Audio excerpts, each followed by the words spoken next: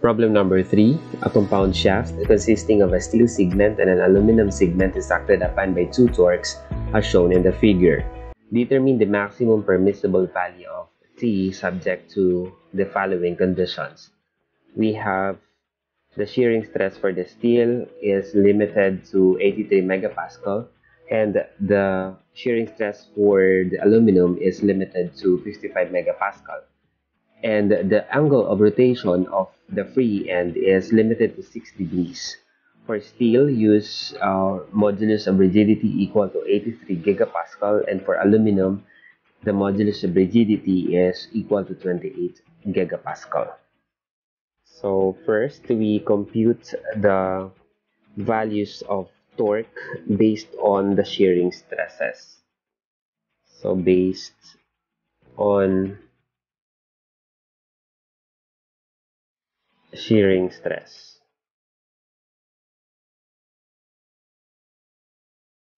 And this shearing stress is maximum. So the formula for the maximum shearing stress is equal to 16t over pi d cube. Okay, so based here on the figure, first is we construct the load diagram.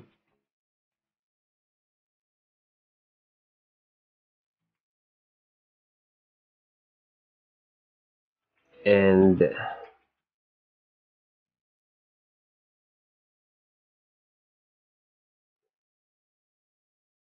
so kung dito tayo titingin this is counterclockwise meaning this would be compression. So we assume that it is directed towards the section and here this is also directed towards the section.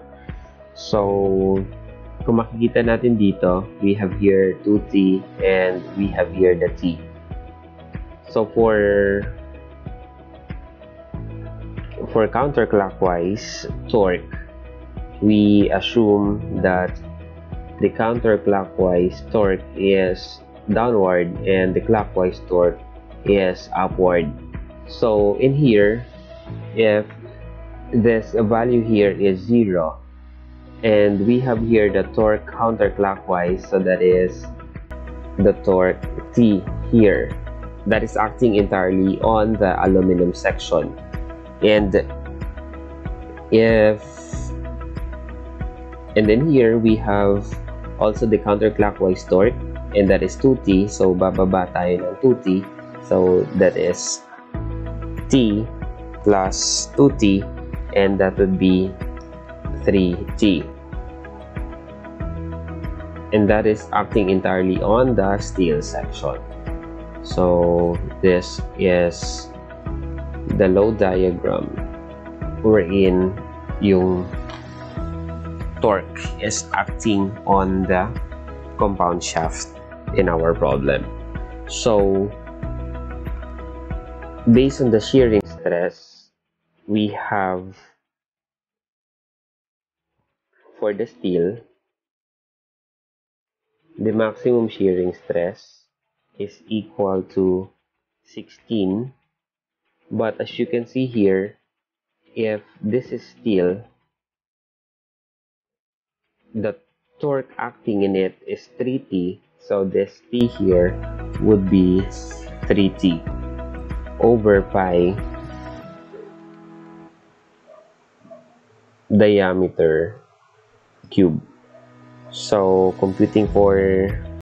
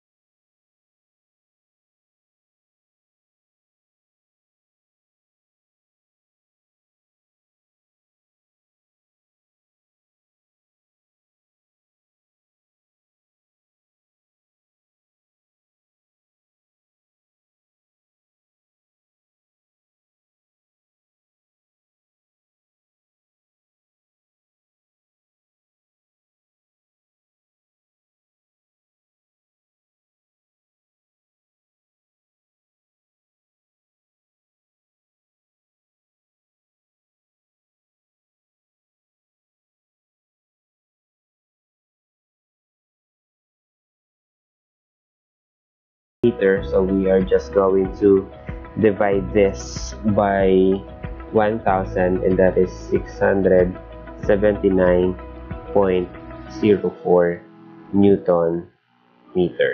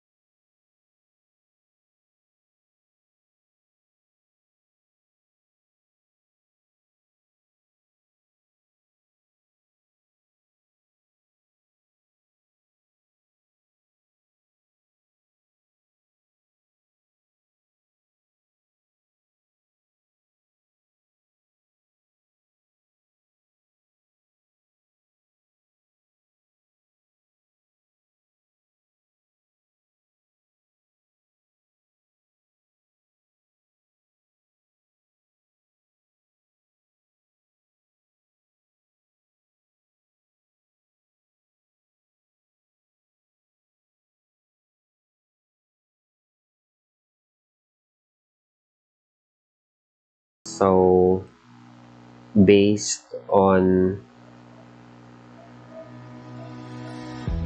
the maximum angle of twist which is limited to 6 degrees in the problem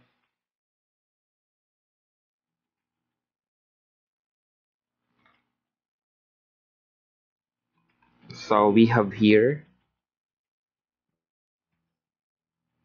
the total deformation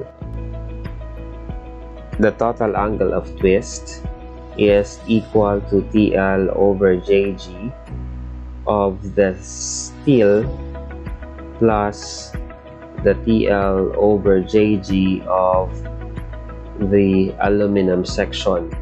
So we have here the angle of twist since that is 6 degrees and we convert this into radian so that's pi over 180 degrees is equal to the torque in steel. So remember that the torque in steel is 3t while the torque in aluminum is t.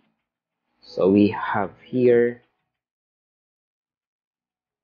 3t multiplied by the length of the aluminum section and that is equal to 900 mm so we have here 900 mm over the j.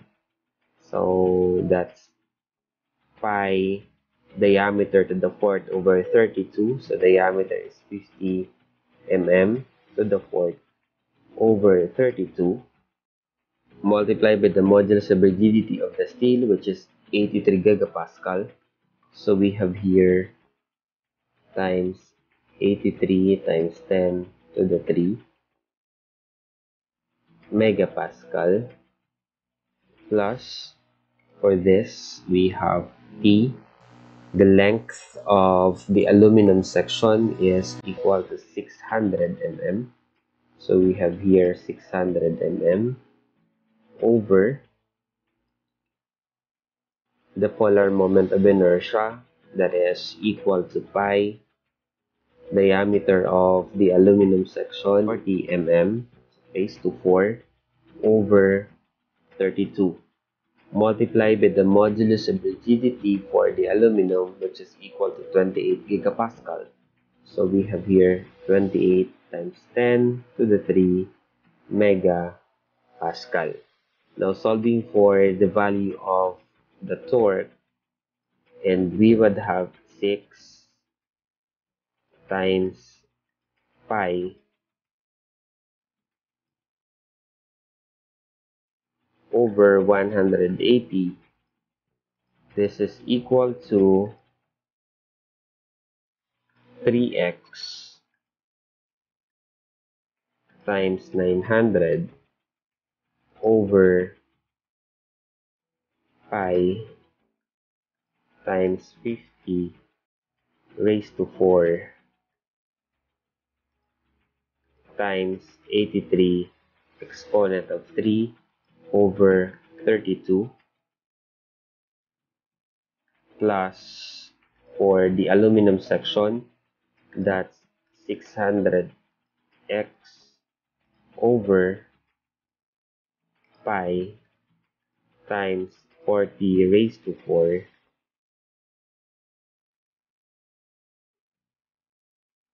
times 28 exponent of 3 over 32 shift shift solve equals and we would have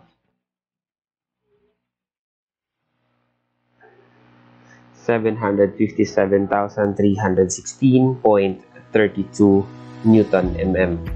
So this is seven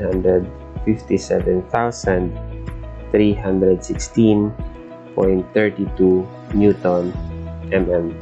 Now, if we are going to convert this into Newton meter, then this is 757.3 Newton meter.